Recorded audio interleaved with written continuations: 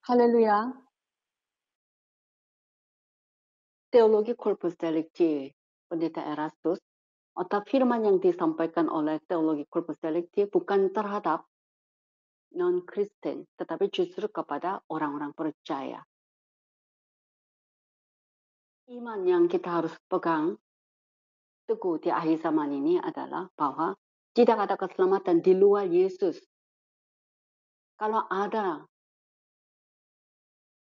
seorang pendeta, entah pendeta itu dari kalangan apa, atau yang pendeta yang bernama terkenal, nama besar, kalau dikatakan bahwa di luar Yesus ada keselamatan, itu adalah apostat murtad. Siapa pun. Kami mau mengerti atau mau tahu sifat daripada Injil Kristus. Injil itu memiliki sifat apa? Dengan jalan mengetahui sifat Injil Kristus, kami mau mempertahankan iman kepada Yesus Kristus. Sehingga kami boleh terhindar dari jalan kebinasaan. Kalau teologi corpus delicti menyatakan bahwa kalau mendengar Injil atau setelah mendengar Injil dan tolak, orang itu pasti akan masuk neraka. Akan tetapi, orang yang belum pernah mendengar Injil Yesus dan asal dia hidup baik-baik, walaupun dia adalah seorang ateis, pasti bisa masuk kerajaan Allah. Hanya sebagai umat, tidak menjadi pejabat. Pernyataan ini dikutip dari Rahasia Kitab Wahyu buku kedua dari Pendeta Erastus Sabtono, halaman 148.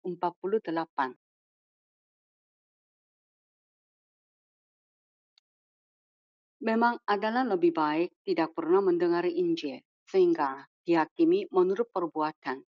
Sebab masih mungkin diperkenan masuk kehidupan yang akan datang daripada mendengar Injil tetapi menolaknya. Mereka yang menolak Injil sudah pasti binasa. Demikianlah pernyataan dari teologi corpus delicti. Pernyataan ini bernuansa seakan-akan tidak perlu penginjilan yaitu membatalkan amanat agung memberitakan Injil Kristus yang diperintahkan dalam Injil Markus 16 ayat 15 dan 16. Kalau amanat agung, entah orang yang menerima Injil menolak atau menerima. Hal percaya, tidak percaya itu ada pada mereka. Tetapi kamu pergi, pergilah dan beritakanlah Injil kepada segala makhluk. Itu amanat agung. Perintah dari Tuhan Yesus. Maka Rasul Paulus berkata dengan mentaati pada amanat agung Tuhan Yesus, dia mengatakan, aku ini berhutang aku ini adalah yang berhutang. Baik kepada yang berbahasa Yunani maupun yang tidak berbahasa Yunani. Baik orang yang terpelajar maupun yang tidak pelajar. Aku berhutang. Aku mempunyai kewajiban atau tugas harus memberitakan Injil. Karena Yesus telah menyuruh, memerintahkan harus beritakan Injil kepada segala makhluk. Maka aku siap untuk memberitakan Injil kepada kalian yang ada di Roma pun. Itu pengakuan Rasul Paulus. Kita mau baca Roma 1 ayat 14 dan 15. Roma 1 ayat 14 dan 15. Aku berhutang baik kepada orang Yunani maupun kepada orang bukan Yunani, baik kepada orang terpelajar maupun kepada orang tidak terpelajar. Itulah sebabnya aku ingin untuk memberitakan Injil kepada kamu juga yang diam di Roma. Rasul Paulus berkata, dia berhutang kepada semua orang. Yaitu mengikuti Great Commission, amanat agung dari Tuhan Yesus. Lalu Rasul Paulus berbicara tentang sifat Injil Kristus. Dan Rasul Paulus bersaksi bahwa dalam Galatia 1.15 dan juga Roma 1 ayat 1. Ia telah dikuduskan sejak kandungan ibunya untuk memberitakan Injil. Jadi kesimpulannya adalah lebih baik kita mendapat atau memperoleh pengertian akan sifat Injil melalui Rasul Paulus daripada mendengar apa yang dikatakan oleh pendeta Erastus. Lebih baik langsung kita menerima pernyataan dan kesaksian Rasul Paulus tentang sifat Injil. Sedangkan pendeta Erastus Sabtono mengatakan bahwa memang adalah lebih baik tidak pernah mendengar Injil sehingga dihakimi menurut perbuatan. Sebab masih mungkin diperkenan masuk kehidupan yang akan datang daripada mendengar Injil tetapi menolaknya. Mereka yang menolak Injil sudah pasti binasa. Sifat ini atau pernyataan ini sama sekali tidaklah sesuai dengan kesaksian Rasul Paulus. Ini adalah sifat Injil yang disaksikan oleh pendeta Erastus Sabtono. Setelah mendengar Injil, Yesus tolak pasti binasa. Namun, orang yang belum pernah mendengar Injil asal hidup baik-baik, walaupun ateis, seorang ateis, asal hidup baik-baik pasti masuk kerajaan Allah. Sekarang saya mau membahas sifat Injil yang disaksikan oleh Rasul Paulus. Mulai dari Roma 1 ayat 16 sampai dengan Roma 1 ayat 20. Kita akan baca dahulu mulai Roma 1 ayat 16 sampai dengan ayat 20 yang menjelaskan tentang sifat Injil Kristus. Sebab aku mempunyai keyakinan yang kokoh dalam Injil, karena Injil adalah kekuatan Allah yang menyelamatkan setiap orang yang percaya. Pertama-tama orang Yahudi, tetapi juga orang Yunani.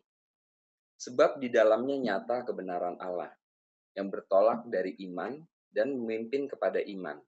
Seperti ada tertulis, orang benar akan hidup oleh iman.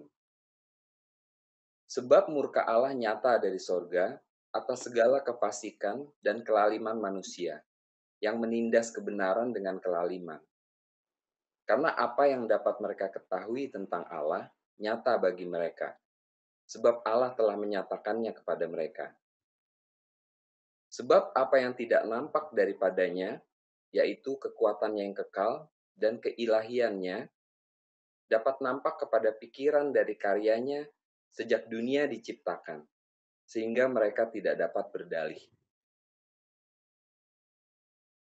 Kembali Roma 1 ayat 16, silakan baca lagi.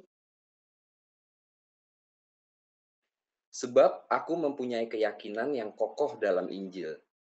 Karena Injil adalah kekuatan Allah yang menyelamatkan setiap orang yang percaya. Pertama-tama orang Yahudi, tetapi juga orang Yunani. Kalimat, sebab aku mempunyai keyakinan yang kokoh dalam Injil.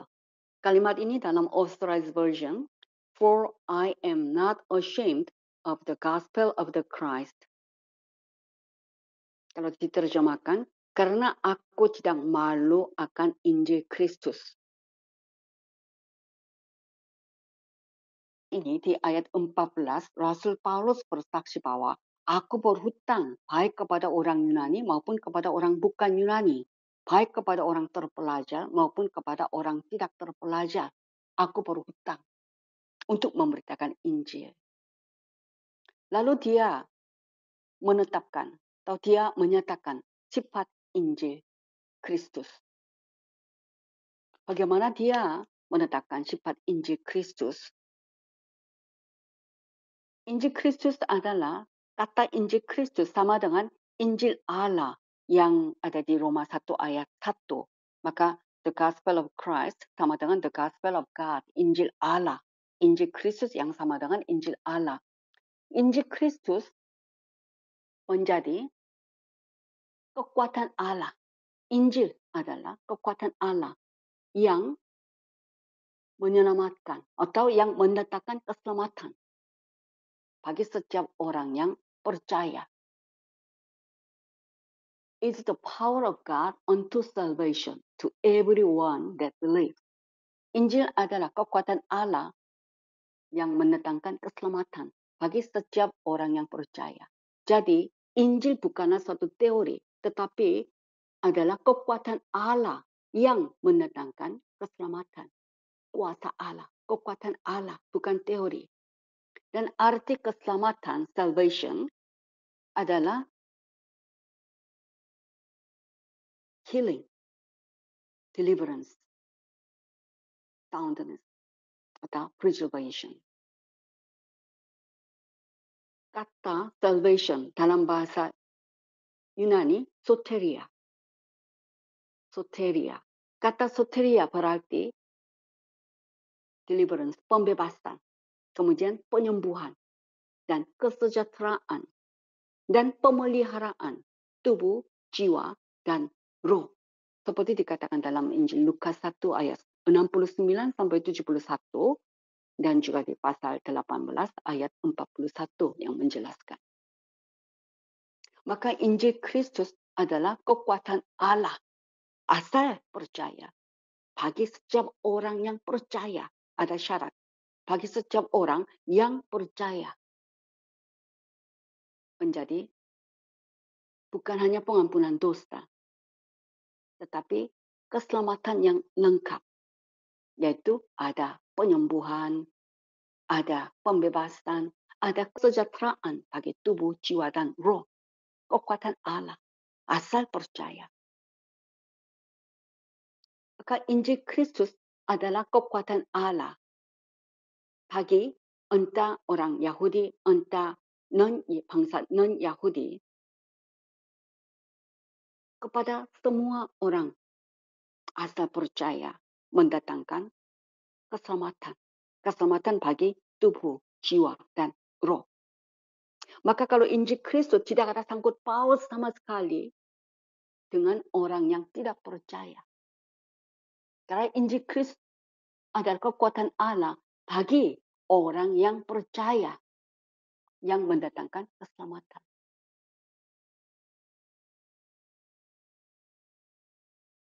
Sekarang dengan ayat 17. Kita akan baca lagi. Roma 1 ayat 17. Sebab di dalamnya nyata kebenaran Allah yang bertolak dari iman dan memimpin kepada iman. Seperti ada tertulis, orang benar akan hidup oleh iman. Sebab di dalamnya nyata kebenaran Allah. Kalimat di dalamnya nyata kebenaran Allah. Dalam Injil Kristus ada kebenaran Allah, maka dinyatakan kebenaran Allah ini. Kebenaran Allah ini merupakan kebenaran yang diperoleh melalui iman kepada Yesus Kristus. Berbeda dengan kebenaran sendiri yang diperoleh dengan jalan mentaati hukum Taurat. Dengan kebenaran sendiri yang didapati dengan jalan mentaati hukum Taurat, tak seorang pun bisa berdiri di hadapan Allah. Tetapi kebenaran Allah yang diperoleh melalui iman kepada Yesus Kristus, yaitu kebenaran Allah yang diperoleh melalui kasih karunia. Orang berdosa siapa pun dapat berdiri di hadapan Allah. Roma 3 ayat 22. Kita mau baca Roma 3 ayat 22. Yaitu kebenaran Allah karena iman dalam Yesus Kristus bagi semua orang yang percaya. Sebab tidak ada perbedaan. Filipi 3 ayat 9.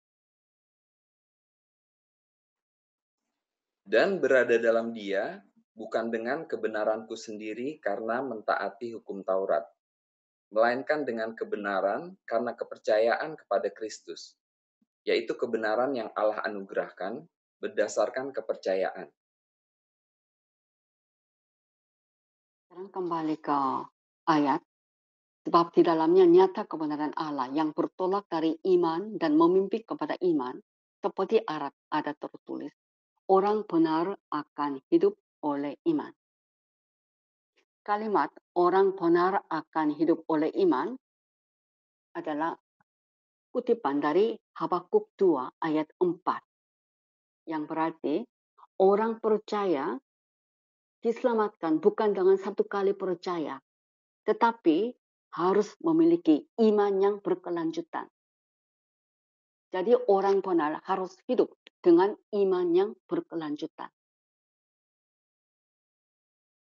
ketika kita percaya pertama kali kepada Yesus Kristus, oleh iman itu kita mendapat pengampunan dosa dan menjadi anak Allah.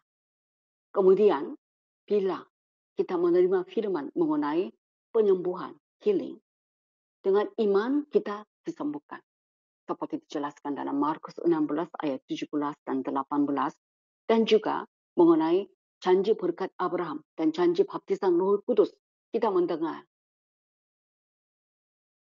itu juga kita menerima dengan iman sehingga kita mendapat berkat Abraham dan juga dipenuhi Roh Kudus. Seperti dikatakan dalam Galatia 3 ayat 13 dan 14. Kita akan baca kedua ayat Galatia 3 ayat 13 dan 14. Kristus telah menembus kita dari kutuk hukum Taurat dengan jalan menjadi kutuk karena kita Sebab ada tertulis, terkutuklah orang yang digantung pada kayu salib. Yesus Kristus telah membuat ini, supaya di dalam dia berkat Abraham sampai kepada bangsa-bangsa lain. Sehingga oleh iman kita menerima roh yang telah dijanjikan itu.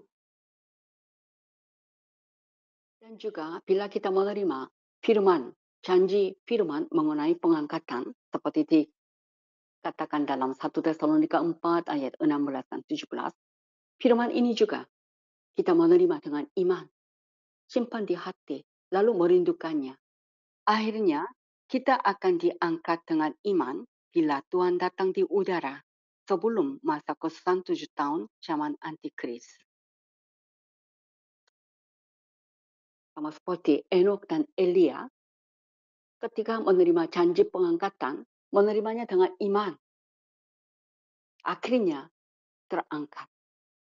Seperti dikatakan dalam kejadian pasal 5 ayat 24 dan Ibrani 11 ayat 5. Kita akan membacakannya. Kejadian 5 ayat 24. Dan Henok hidup bergaul dengan Allah. Lalu ia tidak ada lagi, sebab ia telah diangkat oleh Allah. Kemudian Ibrani 11 ayat 5. Karena iman, Henok terangkat, supaya ia tidak mengalami kematian, dan ia tidak ditemukan, karena Allah telah mengangkatnya. Sebab sebelum ia terangkat, ia memperoleh kesaksian bahwa ia berkenan kepada Allah. Demikianlah setiap kali bila kita bila diterima firman, kita menerimanya dengan iman. Akhirnya kita menyaksikan janji firman itu digenapi dalam hidup kita. Itulah orang benar akan hidup oleh iman. Dan itu merupakan yang bertolak dari iman dan memimpin kepada iman. Jadi orang benar harus hidup dengan iman yang berkelanjutan dan beralih dari iman ke iman saat firman diterima. Sekarang kita mau membahas Roma 1 ayat 18. Kita akan baca kembali.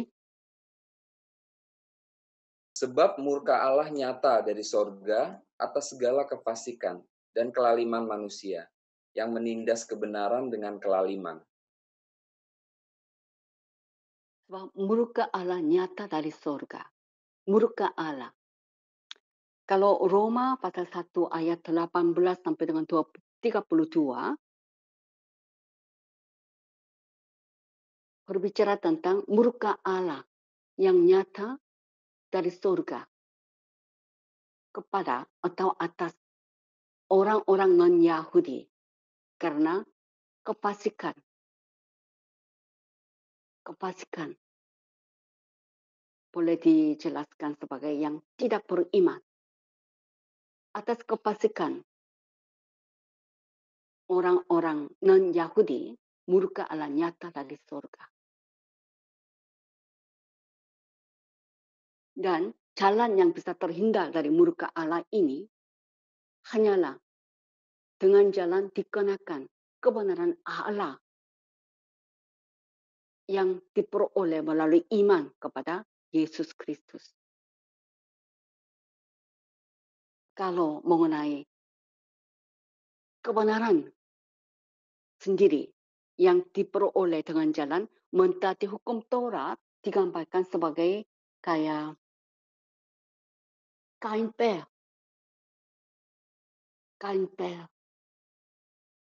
dalam Isaya. Lalu berikutnya Roma pasal 2 ayat 1 sampai dengan Roma pasal 3 ayat 8 berbicara tentang murka Allah yang nyata bagi orang Yahudi karena kepasikan mereka, ungodliness. Dan juga Roma 3 ayat 9 sampai dengan 20 berbicara tentang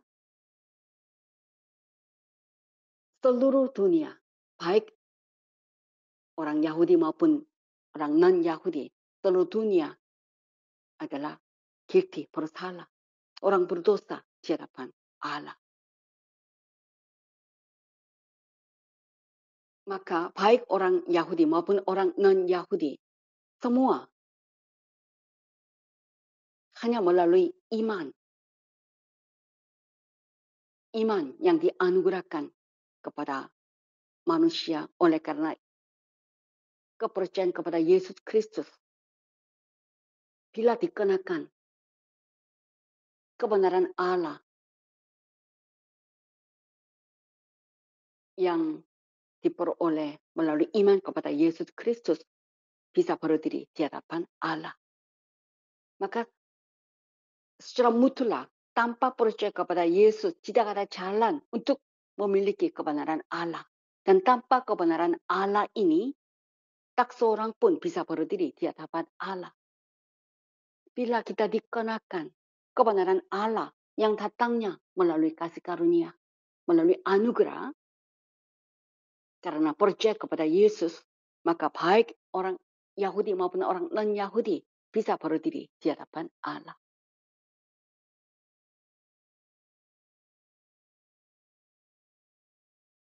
Dan dikatakan, sebab murkalah nyata dari surga atas segala kepasikan dan kelaliman manusia. Kalau kepasikan, hal tidak beriman.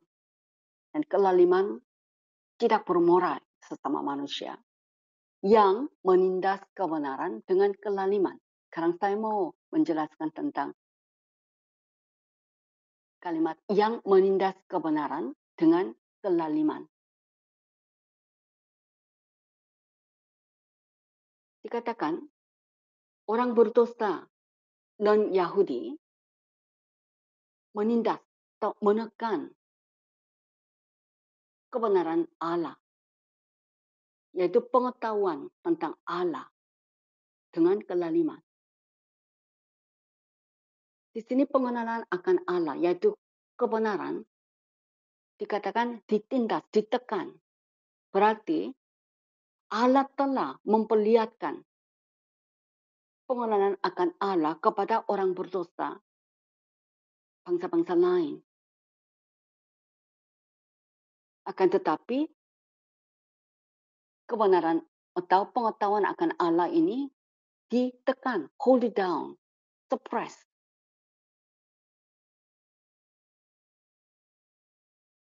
Sumber daripada segala dosa adalah dalam hal menekan pengenalan akan Allah. Sekali lagi, sumber dari segala dosa ada dalam hal menekan pengenalan akan Allah. Sekarang kita mau beralih ke Roma 1 ayat 19. Kita akan baca kembali Roma 1 ayat 19. Karena apa yang dapat mereka ketahui tentang Allah nyata bagi mereka, sebab Allah telah menyatakannya kepada mereka. Karena apa yang dapat mereka ketahui itu adalah the knowledge of God ya, pengetahuan akan Allah nyata bagi mereka. Sebab Allah telah menyatakannya kepada mereka. Pengetahuan akan Allah itu namanya kebenaran. Dan itulah hidup kekal. Seperti dikatakan dalam Yohanes 17 ayat 3. Lalu nanti kemudian di ayat 20 yang kita akan bahas. Dijelaskan bagian dengan cara bagaimana Allah telah memperlihatkan tentang Allah kepada orang berdosa yang non-Yahudi. Dengan jalan bagaimana Allah telah memperlihatkan Allah yang tak kelihatan. Melalui manusia yang telah diciptakan menurut gambar dan rupa Allah, Allah memperlihatkan Allah yang tak kelihatan, yaitu the Godhead, Allah Tritunggal. Itu pun dengan jelas dengan jelas diperlihatkan sehingga dapat di mengerti. Alkitab Inggris berkata, clearly seen. Jadi being understood. Dengan jelas diperlihatkan sehingga dapat dimengerti, dapat dipahami. Bukan misteri.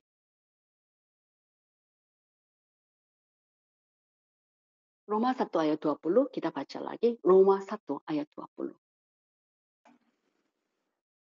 Sebab apa yang tidak nampak daripadanya, yaitu kekuatannya yang kekal dan keilahiannya, dapat nampak kepada pikiran dari karyanya sejak dunia diciptakan, sehingga mereka tidak dapat berdalih. Sebab apa yang tidak nampak daripadanya, yaitu kekuatan yang kekal dan keilahiannya. Ini keilahiannya adalah the Godhead, Allah Tritunggal. Dapat nampak. Dapat nampak ini dalam bahasa Inggris pakai kata clearly seen, dengan jelas diperlihatkan, dan being understood. Dapat dimengerti, dipahami. Oleh apa? Kepada pikiran dari karyanya. Ini kalimat atau frasa ini kurang jelas ya artinya. Kalau bahasa Inggris pakai by the things that are made. By the things that are made oleh hal-hal yang dibuat. Sehingga mereka tidak dapat berdalih. Karena telah diperlihatkan dan telah diperlihatkan dengan jelas dan dapat dipahami melalui manusia yang kelihatan. Maka Allah yang tak kelihatan, apa yang tidak nampak daripadanya, yaitu kekuatan Allah yang kekal dan keilahiannya, kealahan Allah Tritunggal. Dengan jelas diperlihatkan dan dipahami oleh apa yang telah dibuat sejak dunia diciptakan. Sehingga mereka tidak dapat berdalih. Maka di sini kata keilahian, Godhead, yaitu Allah Tritunggal, diperlihatkan dengan jelas melalui manusia yang diciptakan menurut gambar dan rupa Allah sehingga dapat dipahami. Manusia yang diciptakan menurut gambar dan rupa Allah terdiri dari tubuh, jiwa, roh. Seperti dikatakan dalam 1 Tesalonika 5 ayat 23, Dan dalam Ibrani 4 ayat 12, jadi Allah juga adalah pribadi yang memiliki tubuh, jiwa, roh. Allah adalah pribadi atau oknum dengan tubuh roh pribadi, jiwa pribadi, dan roh pribadi. Seperti malaikat dan seperti manusia. Kecuali tubuhnya adalah substansi roh, bukan daging dan tulang seperti manusia. Kalau kita baca Ayub 13 ayat 8 dan Ibrani 1 ayat 3 bisa lebih mengerti dengan lebih jelas. Allah adalah pribadi atau oknum dengan tubuh roh pribadi, jiwa pribadi, dan roh pribadi. Seperti malaikat dan seperti manusia. Kecuali tubuhnya adalah substansi roh, bukan daging dan tulang. Kealahan terdiri dari tiga pribadi yang terpisah dan berbeda. Seperti yang ada tertulis dalam 1 Yohanes 5 ayat 7 dan 8. Dan ketiga pribadi ini masing-masing memiliki tubuh, jiwa, rohnya sendiri. Papa memiliki tubuh roh. Roh Kudus juga memiliki tubuh roh. Maka baik Papa maupun Roh Kudus bukan disembodied spirit, yaitu roh tanpa tubuh. Ada yang mengatakan Papa dan Roh Kudus adalah disembodied spirit, roh tanpa tubuh. Tidak benar. Perbedaan antara malaikat dan roh jahat adalah yang memiliki tubuh, yang tidak memiliki tubuh. Kalau roh jahat tidak ada tubuh, sehingga disebut disembodied spirit. Tapi asalnya memiliki tubuh. Kalau begitu, apakah roh kudus juga seperti setan adalah disembodied spirit? Apakah roh kudus juga adalah disembodied spirit? roh tanpa tubuh seperti setan? Tentu tidak. Roh Kudus adalah pribadi yang memiliki tubuh, jiwa, rohnya sendiri. Seperti Papa. Jika ada tiga pribadi ilahi dalam kealahan, dan mereka ada sebagai satu. Tapi kata satu ini adalah seperti dikatakan dalam Tuhan Yesus dalam Yohanes 17 ayat 11 dan 21 sampai 23 dalam arti persatuan in the sense of unity. Sebagaimana kumpulan orang percaya disebut satu. Maka Allah Tritunggal adalah bahwa Allah adalah pribadi. Pribadi yang memiliki tubuh jiwa rohnya sendiri. Seperti manusia. Dan ketiga pribadi ini ada dalam kealahan atau kata lain keilahian the Godhead. Dengan masing-masing memiliki tubuh, jiwa, yaitu tubuh roh dan jiwa dan rohnya sendiri. Sama seperti manusia, masing-masing manusia memiliki tubuh, jiwa, roh dan three person, tiga pribadi memiliki tubuh, jiwa, rohnya sendiri disebut satu Allah. Mengapa disebut satu Allah?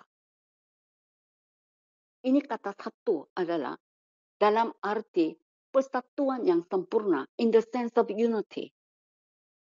Seperti dikatakan dalam Yohanes 17 ayat 11 dan 21 sampai 23 sebagaimana orang-orang percaya, manusia, kumpulan orang-orang percaya yang adalah manusia menjadi satu.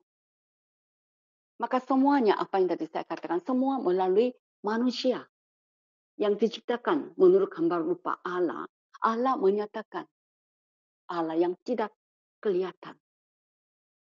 Saya kembali katakan, Allah Tritunggal adalah bahwa Allah adalah pribadi yang memiliki tubuh jiwa roh seperti manusia. Dan ketiga pribadi ini ada di dalam kealahan, keilahian atau the Godhead, masing-masing dengan masing-masing memiliki tubuh jiwa rohnya sendiri. Sama seperti manusia, masing-masing memiliki tubuh jiwa roh manusia.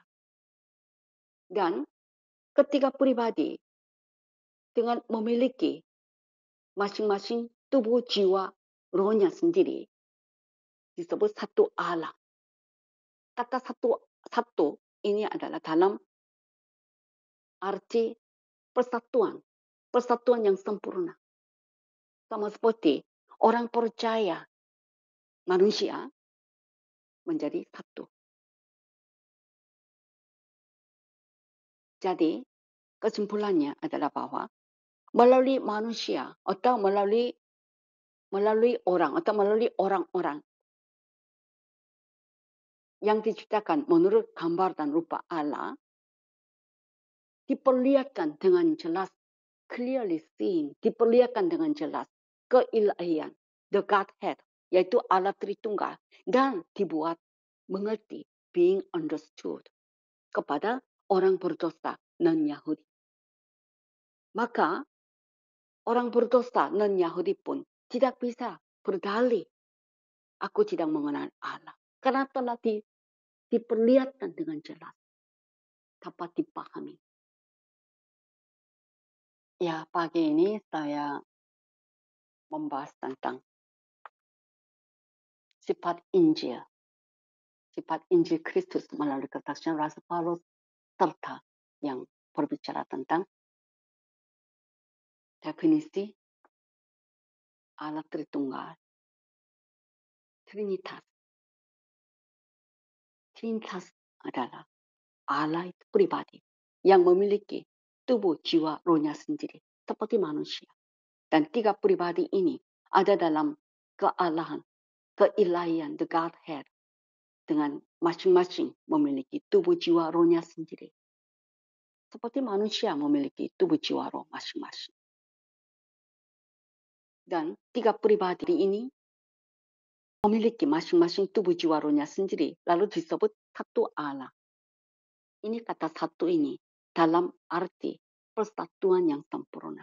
Seperti doa Tuhan Yesus dalam Yohanes 17 ayat 11 dan 21 sampai 23 menjadi satu. Seperti orang-orang percaya, kumpulan orang-orang percaya adalah satu. Mari kita berdoa. Allah Bapa, orang berdosa non Yahudi pun jadi mengenal Allah Tritunggal. Melalui manusia yang diciptakan menurut gambaran rupa Allah. Apalagi kami, orang-orang percaya, orang-orang kudus, Memang tadinya kami kurang memahami, tapi sekarang kami telah memahaminya. Kami perlu ucap syukur kepadamu atas pengertian yang kau berikan kepada kami mengenai Allah Tritunggal.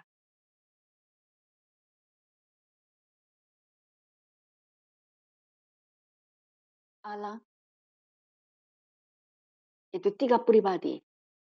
Semua masing-masing memiliki tubuh jiwa rohnya dan ada dalam persatuan yang sempurna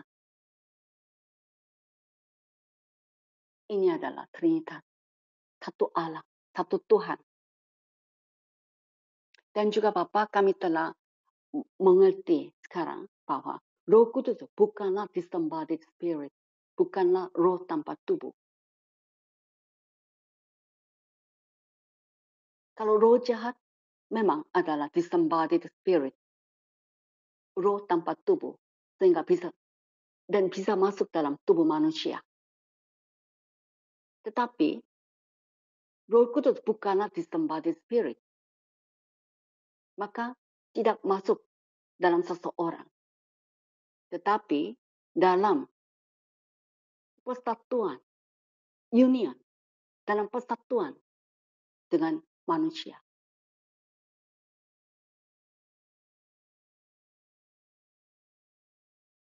Kita menjadi satu dalam arti persatuan. Dalam persatuan dengan kami telah memahami dengan jelas. Terima kasih Bapak. Bapak, ada orang-orang katakan kalau Allah Trinitas itu hal misteri. Tetapi kami pegang firman Tuhan bahwa melalui manusia yang diciptakan, Allah Tritunggal diperlihatkan dengan jelas dan dipahami. Yaitu Allah yaitu Allah Bapa, Allah Anak, Allah Roh Kudus adalah pribadi yang masing-masing memiliki tubuh jiwa rohnya sendiri. Terima kasih Bapa atas pengertian yang kau berikan kepada kami. Dengan jelas dan kami dapat memahaminya. Di dalam nama Yesus kami mengucap syukur dan berdoa. Amen